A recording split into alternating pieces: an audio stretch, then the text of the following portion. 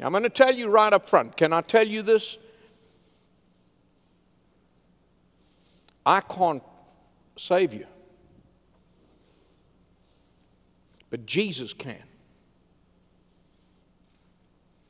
All I can do is tell you about this Jesus.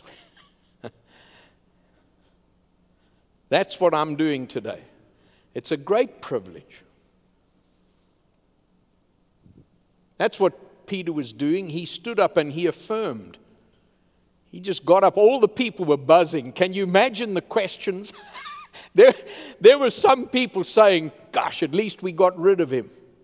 There were other people that were saying, Listen, man, I don't want to be around those crazy believers.